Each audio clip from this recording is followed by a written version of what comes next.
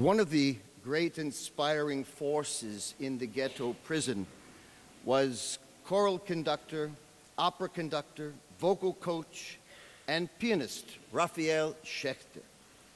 He was a man with a magnetic personality. He recruited a chorus of 150 prisoners and taught them Verdi's Requiem by rote because there was only one piano vocal score in the ghetto. From September 1943 to June 1944, Raphael Schechter and his singers presented 16 performances of Verdi's music. And twice after deportations depleted his choir, he recruited as many new singers from among new prisoners and started over. Twice. Terezin was an especially breathtaking enigma about artists and scholars. In this environment, after working long hours as forced laborers every day, who could lecture? Ki képes festeni, vagy rajzolni? Ki tud szép prózát írni? Ki hajlandó zenét komponálni? Kiben van annyi szellemesség, hogy szatirikus és éles kabarét állítson össze? Ki lenne képes arra, hogy ezen a helyen akár Shakespeare-t szavaljon? Yes, and perform Bach, Mozart, Schubert, Dvorak, Smetana, Mendelssohn, fellow prisoners Ullmann, Klein, Kraza, Haas, and the crowning achievement of all, Verdi's sacred, operatic, political, and in all other ways mountainous requiem. A defining measure of skill and artistry under the very best of conditions for healthy, well fed, and comfortable performers who have their own individual scores and who read music. Ki képes arra, hogy szinte minden este letaláljon abban nedves, rosszul megvilágított füllet pincébe, hogy megtanulja a kottát? Kinek a szívében lakozik annyira a művész, az intellektuel? Kiben van annyi szenvedély, akarat, energia és bátorság? Bizony, bátorság arra, hogy valós képeket fessen papírra. Those for whom expressive behavior could not be contained. And those who refused to allow their captors to dehumanize them, those who would look into the faces of the others and find within their own fertile and nourished secret vaults of compassion and mission a greater capacity than many knew they had to exude hope and dignity in the midst of Nazi brutality. Sixteen times they performed this score inspired by the power of the Latin text as interpreted by Rafi Schechter and the Jewish prisoners in his chorus. And as they sang, they traveled from the reality of the piano to the ideal in their minds of a rich and full orchestra and a beautiful concert hall just an hour away in Prague, but in freedom.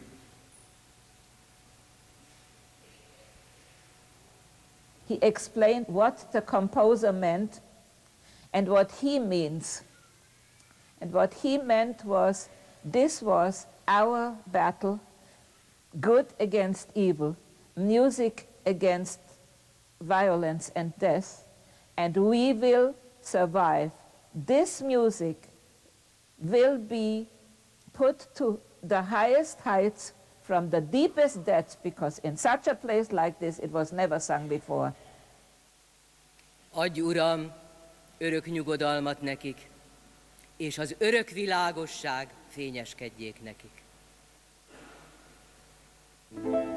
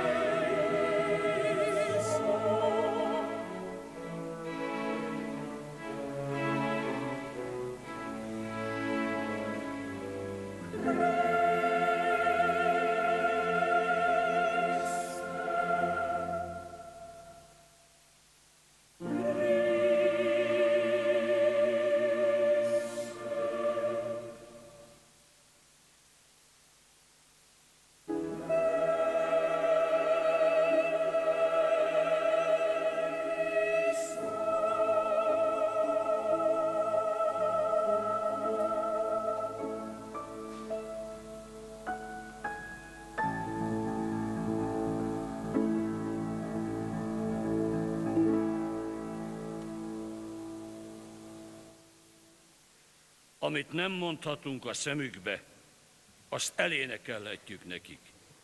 Tettünknek ez a belső igazsága. Félek megosztani bölcseink tanácsával, hogy mi is a célom, mi a küldetésem. Ezek a szerencsétlen, elhasznált emberek már-már bábuk. Engem kértek meg, hogy legyen bennem annyi bátorság, és merjem előkészíteni ezt a rekviemet. Annak ellenére, hogy az SS részéről senki nem szól vele. A nácikat nem érdekli, hogy mit adunk elő, amíg nem hoz rájuk bajt. Viszont a tanács, néhány rabbi és a cionisták gyújtószikraként akarják felhasználni a rekviemet. Volt néhány hangosabb szóváltásunk mostanában, de nem adom be nekik a derekamat. Illetve nem vagyok hajlandó egyszerűen figyelmen kívül hagyni Verdi eredetiét. Az ő üvöltözése fektet ekkora hangsúlyt a dologra, ez hozza létre a mi terhünket. Több rabbi is neheztel rá, ideértve Leo Becket is, aki meglehetősen nagy befolyással rendelkezik. Megmondtam Rafinak, hogy a rekviemes probléma elég hangos aggodalmat okoz. Népünk ugyanis nem arról híres, hogy csendben vitatkozna.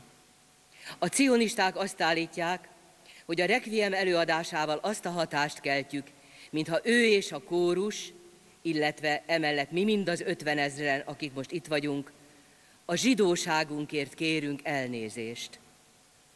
Itt a gettóban több zenei szakértő is hagyományosabb zsidó vonatkozású zenét javasolt, ideértve Mendelssohn Éliását, illetve ótestamentumi szöveges Hendel oratóriumokat. Úgy érezzük, hogy bármilyen vita ránk nézve rosszul végződhet, és ha kezelhetetlenné válik a veszekedés, az SS majd szépen deportálja az egész kórust, csak hogy rendet teremtsen. Rafit lelövik, majd visszavonják a szabadidőnket. Nem lesznek előadások, zenei fellépések, semmi, amit a gyerekek megnézhetnek. Csak a zord feszültség és az üresség marad, ami mély szomorúságot vált ki belőlünk, és kollektív félelembe taszít minnyájunkat. Azt kell elénekelnünk, amit nem mondhatunk el. A Dies Iria megjövendőlt haragnapjáról szól majd. Mély nagy lesz a rengés, mikor eljön a bíró, kinek ítélete mindenkit kötelez.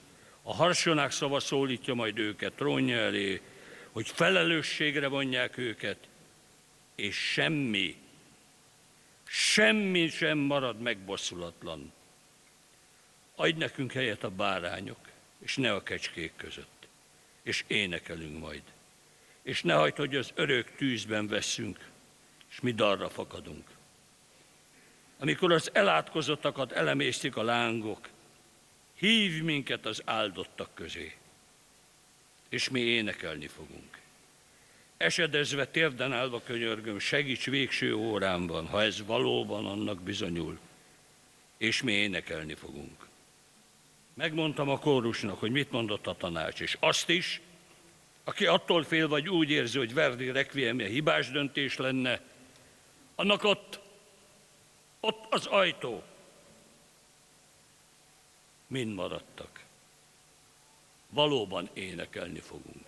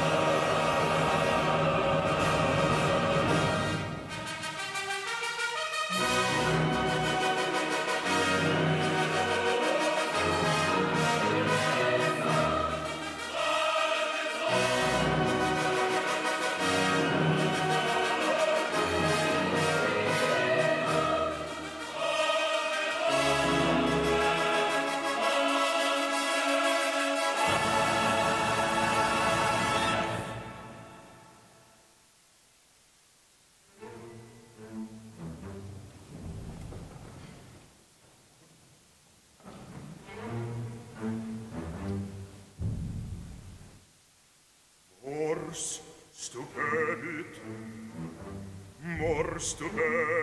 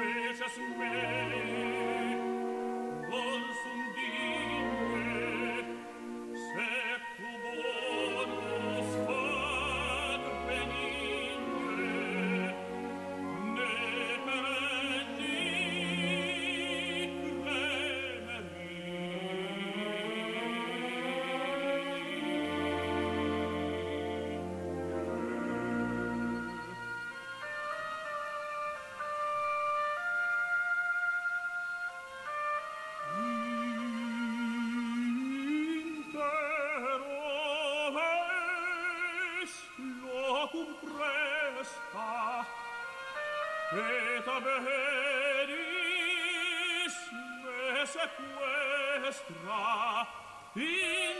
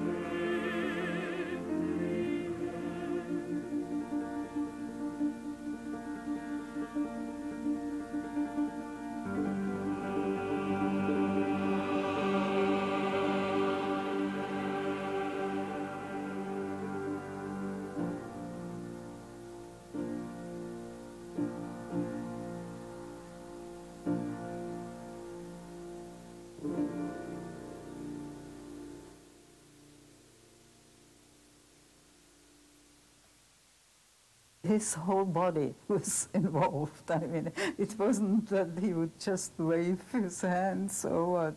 That was, and his face worked. You know, he, you could see that it was resonating in his, in his uh, head. He was, he was not a handsome man, but when he conducted, I think he had some sort of beauty. It was sort of his in, insight shining through, you know. Personality of Rafi was something uh, so powerful that even before he said anything, you knew that you were in the presence of a, a very strong human being who was going to do things and who was going to go places. And also, it, he, it, his personality demanded absolute uh, I don't know what you would call it, uh, uh, mm, obedience. Rafi Schechter, by all accounts, was a warm and charming man and a very accomplished and serious musician.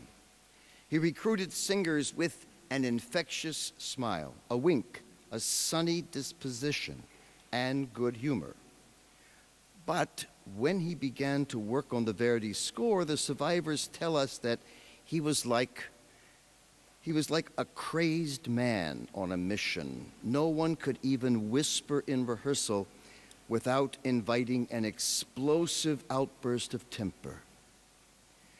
Never was the Verdi Requiem more inspiring, more humanly important, more personally moving, or more completely understood by any performers and audiences anywhere, anytime than those at Terezin. Olyan elszántsággal hallgattam a rekviemet, mintha korábban sosem hallottam volna zenét. Milyen fiatalító, reményteli élmény volt. Nem is tudom világosan szavakba önteni, milyen fizikai hatással volt ránk. Gyakran kérdezték tőlem, hogy milyen volt a kórus. De csak azt tudom megmondani, hogy számomra mit jelentett a zene. Nem hiszem, hogy le tudnám írni, milyen volt a hangzásunk. Csak annyit tudok, hogy kétségbe esettem próbáltam hallani és hallgatni. Nem arról van szó, hogy nem énekeltek, hiszen persze, hogy énekeltek, és hallottam is őket. Viszont én azt a zenét hallottam, ami belőlük áradt. Magát a zenét, és nem a hangokat, hanem mindazt a tiszta, mindent átölelő jelentést, amit a zene átadni volt hivatott. Olyan mély kapcsolatba kerültem a muzsikával, amiről korábban nem is sejtettem, hogy lehetséges. Életemben először, és talán utoljára, ugyanazzal az elszántsággal hallgattam, mint ahogyan egy elejtett szelet kenyér után kaptam volna. Nem csak tápláló volt a dallam, hanem felemésztő is. Nem volt választási lehetőség. Ezt hallgatni kellett. Amikor az offertóriumhoz érkeztünk, minnyáján saját bensőnkből, ismert tragédiáinkból merítettünk az énekléshez. Testvéremet, feleségét és gyermekét, ahogyan a nővéremet is innen deportálták. Valahol talán még ott van Prágában négy testvérem és a mennyasszonyom. Nem tudom. Az offertórium végén van egy gyönyörű pillanat, amikor imáinkat és áldozatainkat Istennek kínáljuk fel, azoknak a nevében, akiket gyászolunk. Megkérjük Istent, hogy az elhunytak lelkét vigye át a szentvénybe, a halálból, az életbe, ahogyan ő ezt megígérte Ábrahámnak és leszármazottainak. Hiszen az Isten szerelmére mi, itt és most, mi vagyunk az élő áldozatok, és a kollektíven megkínzottak szenvedélyével énekelünk. Így most már mélyen és szokatlanul mondhatni, rejtélyesen benne vagyunk a muzsikában, mint ha mi lennénk a zene ikletésének és létének forrása. Música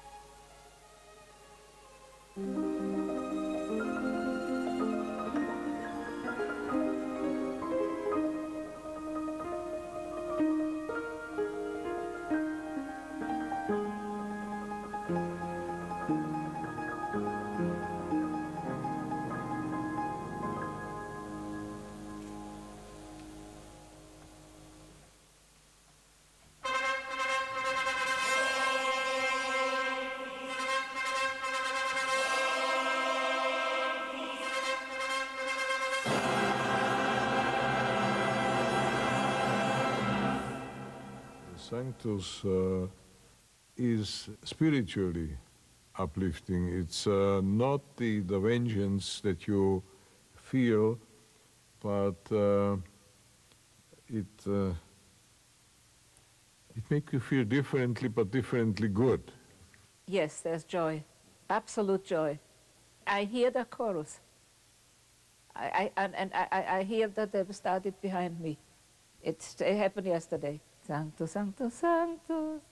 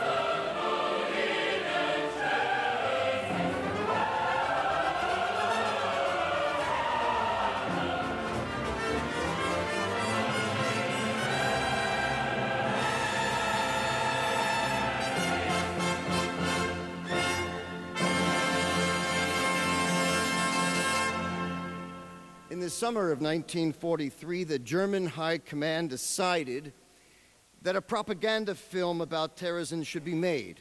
A film about Nazi benevolence entitled The Fuhrer Gives a City to the Jews. Every frame was a sadistic lie. The food, snacks, medical attention, the clothing, the gentle lifestyle, the close ups of the healthy, the athletic, the laughing children, even the peaceful gardening. A veritable spa, a vacation paradise. Kurt Gerron rab és ismert filmes volt. Őt kényszerítettek arra, hogy elkészítse. A befejezés után röviddel eltűnt. Ahogy szinte mindenki, akiről közeli felvétel készült, vagy aki valamilyen speciális tevékenységi körben vett részt. The only truth was in the depiction of the arts and lectures.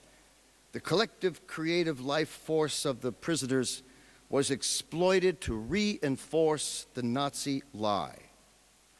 In the Agnus Dei, I suspect that Rafi and his chorus were less focused on the exact meaning of Lamb of God as the Mass intended, but were singing in memory of all God's terracin lambs who suffered and perished at the hands of the unauthorized beasts. Grant them eternal rest, they sang.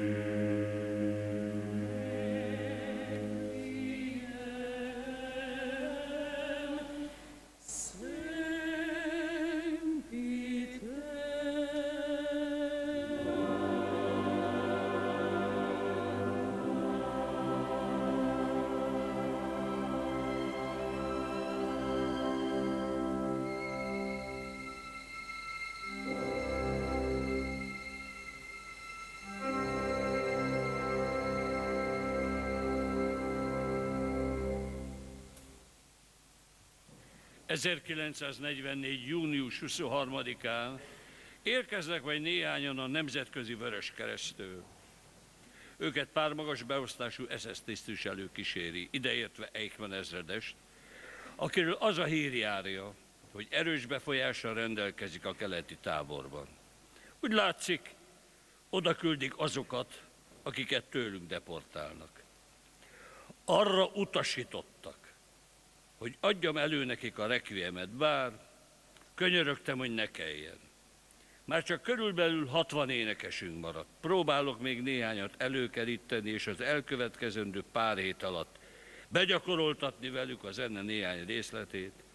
A szólistáim még megvannak, de a régi nagy kórusunkhoz képest olyan vérszegény és gyenge lesz az egész. Régen többre voltunk képesek. Egyrésztről azt kívánom, hogy bárcsak nemet mondhatnék a fellépésre, But on the other hand, he had members of the Nazi command right there in the front row to sing to them what they could not say to them.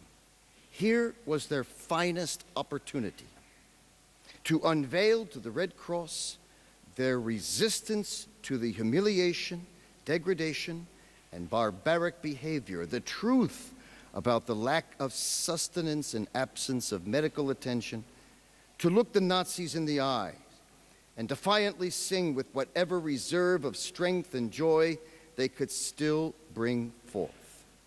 There were the Nazis. And here was Schechter's choral army, fortified and inspired with the conviction, prophecy, and promise as illuminated in Verdi's music. Beleénekeltük az arcukba, azok arcába, akik természetesen nem a fogvatartóink arcába, hiszen a lelkünk még épp volt. Megtaláltuk magunkban azt az erőt ahhoz, hogy szembeszálljunk és ellenálljunk érzelmileg, szellemileg, fizikailag a legyőzetésnek. Azokért, akik még megmaradtak. De akkor is ők voltak az ellenség. A Vörös Kereszt hat órán keresztül tartózkodott ott. Egy óra 25 perc Verdi, két órás ebéd, másfél órás idegenvezetés, amikor is az SS megmutatta nekik azt, amit jónak látott. Olyan helyeket, amik csak a látogatás idejére léteztek. Utána pedig természetesen felszolgálták a teát. Olyan üdének tűnt minden júniusban, akik a szabadban voltak, mind egészségesnek, jól lakottnak, elégedetnek tűntek. Sokan újonnan érkeztek. Másokat a Vöröskereszt látogatása és értékelése alkalmából hízlaltak és öltöztettek fel. A Verdi darab nagyszerű volt, bár állítólag Eichmann azt mondta, hogy ezek az őrült zsidók saját gyászmiséjüket éneklik.